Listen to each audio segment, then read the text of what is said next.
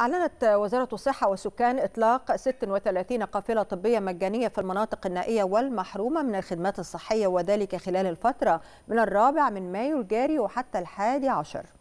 من الشهر ذاته وأوضحت الوزارة أن القوافل الطبية التي تأتي ضمن مبادرة الرئاسة حياة كريمة يتم توجيهها للمحافظات الحدودية والقرى الأكثر احتياجا.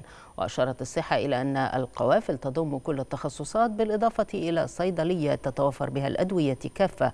كما يتم تحويل الحالات التي تحتاج إلى إجراء عملية جراحية إلى المستشفيات التابعة للوزارة.